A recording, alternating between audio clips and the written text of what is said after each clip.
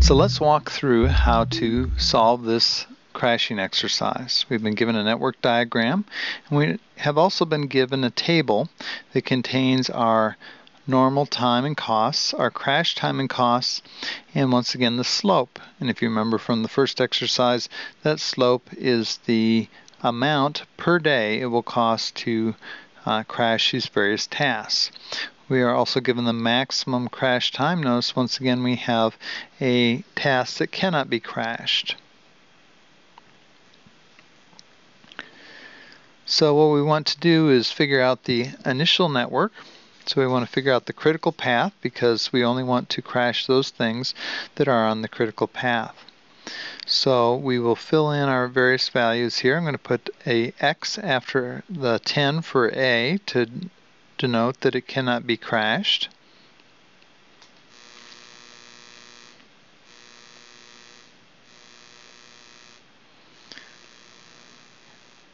and then I'm going to try to figure out what is the longest path.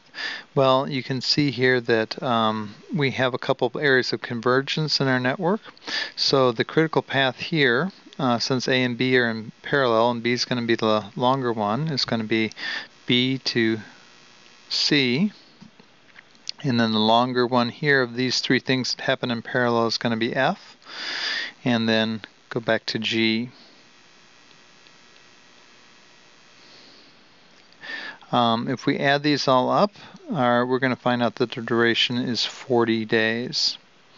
Our total direct costs, we're going to get that by going back up here and adding up all these values here because we want to know what it is um, prior to any crashing. And if we add those up, we'll find it's 14,200. So now we're going to come down here and we need to actually figure out um, between B, C, F, and G which is going to be the cheapest to crash. So let's go back here to this table again and let's mark these. I like to do this. I have B as one candidate, C is the other candidate, uh, F is the next candidate, and then finally G. So looking at the costs, I have $300, 14, uh, $1,500, $600, and $100. So I'm going to do B. So uh, I'm going to go here and put 11x because B can only be crashed one time.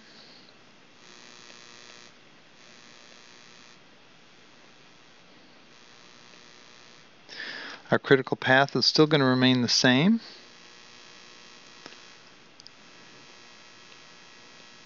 Remember, it can change as we're going along, so we want to um, think about that. We're now down to 39 days. Uh, it was 4,000, I'm sorry, 14,200 rather, our normal direct costs. An additional cost of crashing is just $100 for B. So that's the cost of the project at 39 days. So now we need to look at C, F, and G because B is now kind of no longer a candidate. So I have uh, 600 for C, 1500 for F, and 300 for G. So I'm going to choose to crash G because that's going to be the cheaper option. Would it still work if I crashed F? Well, yes it would, but that wouldn't be the uh, cheaper option.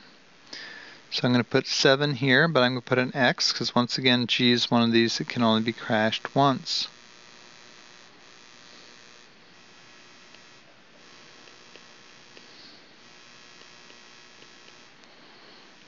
And so I have B, C, F, G. Our project duration is now down to 38 days. If you do the math through here, I think you'll find that's correct.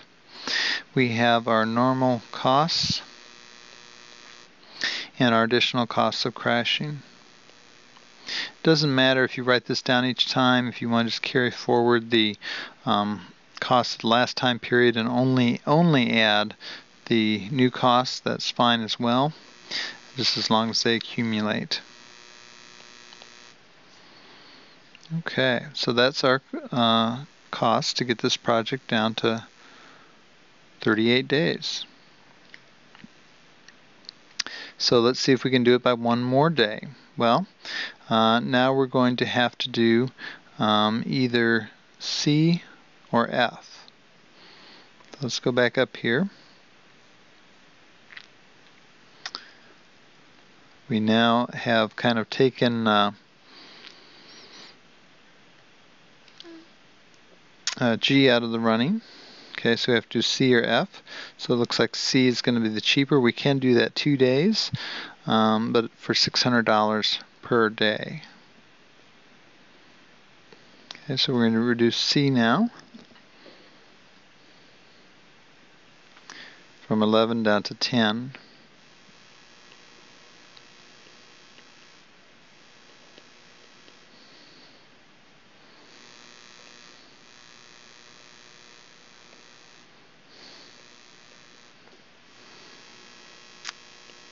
Still have B, C, F, and G is my critical path. My uh, duration through that uh, path is going to be now 37 days. Our uh, original direct costs were this. We then had in the first uh, crashing $100 uh, for B. We then had $300 for G the next time we did it. And then now we're adding $600 for C.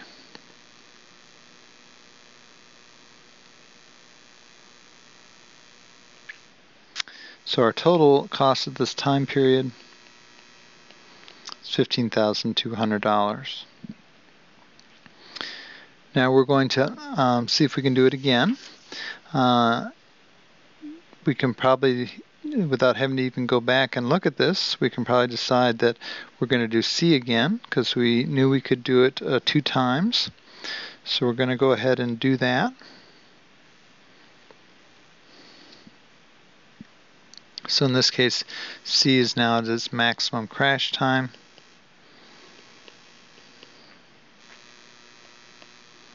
It's going to start to limit our options here a bit.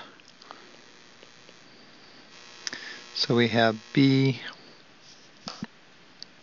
C, F, G.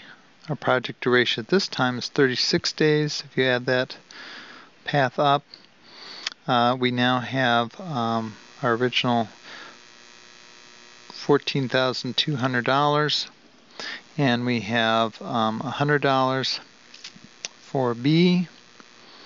We have $300 for G, we have $600 for C and another $600 for C. If you add that up, that's $15,800 at this point. So we've incurred another $600. Can we do this one more time? Well, it looks like we still have one thing on the critical path F that we can crash. So we're going to go ahead and do that. We know that that is going to be $1,500. And it looks like we can crash that up to two times. So we'll go ahead and do that. So F will go from 9 to 8. Everything else will remain the same.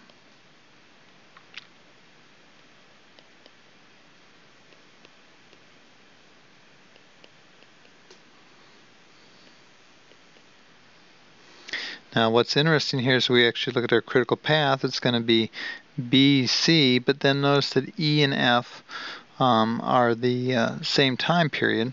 So in some ways we could uh, look at this as being two different paths.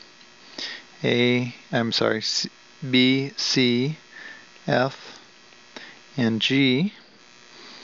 And we've got B, C, E, and G. Both of those paths are 35 days. Our original cost is $14,200 our additional costs of crashing. We had $100 for B, then we had $300 for G, then we had $600 for C, and then we had another $600 for C, and then this last one we had $1,500 for F. So we're now at $17,300. If possible, calculate the critical path and cost of crashing by one more day. Well, can we do it by one more day? Well, we know we can crash F by one more day. That'd be $1,500. Can we crash E? Yes, E can be crashed for $500. So we can in fact crash this one more day, but we're going to have to crash both E and F if we're going to get this down. Okay, so notice that we're going to have to do both of these because if we just do one, then we'll still be stuck here at 35 days and we need to get down to 34 days for the entire project. Okay, so let's go ahead and uh, do that one. And um, uh, F is now going to be 7x because it can't go any farther. We had just two days possible. Uh, e can go to seven days.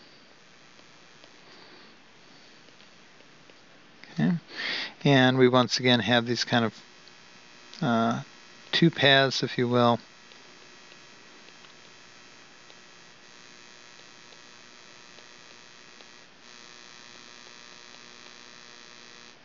And our project duration is 34 days. Um, we have um, 14,200 from our original cost. We have quite a long list now of, um, if I write them this way, it'll be a little bit better.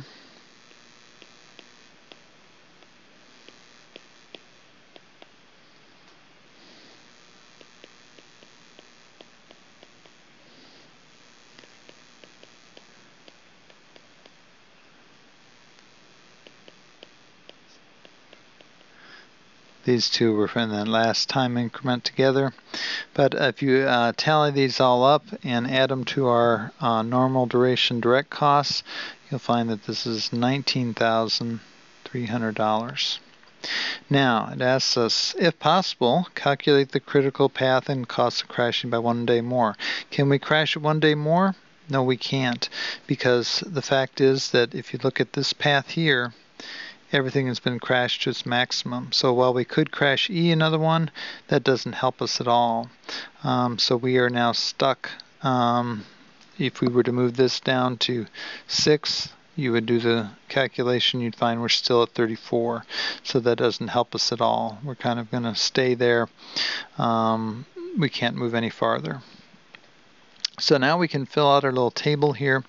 In this case, um, we don't have incentives, but notice we have indirect costs we're going to have to calculate in here as well. Now I'll see if I can write this in a way that's will fit in here. We know that we're not going to be able to go down to uh, 7 there. So I'll put an NA there. But our initial duration was 40, then we moved to 39, then we moved to 38, then we move to 37, and then we move to 36, then move to 35, and then 34.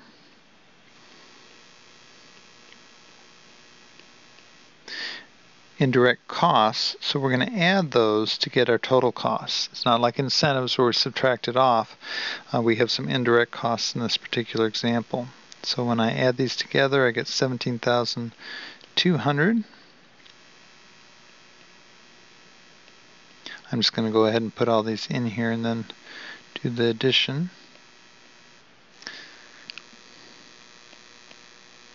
Notice the time is going up this way. So that's why we see our indirect costs are actually going up with time. Okay, so we're kind of going back in time as we move from left to right.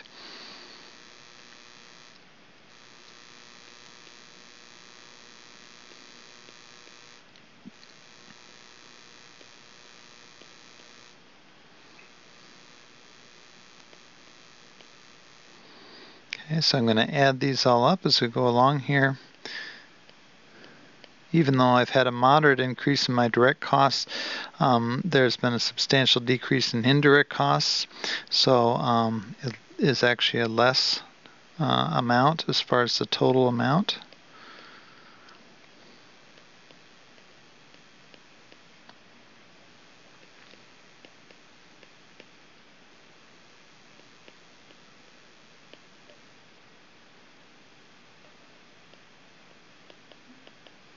Okay, so if we look at what would be the optimum time period here, well, it looks like this is the least amount of cost. So we'd want to crash this by two days.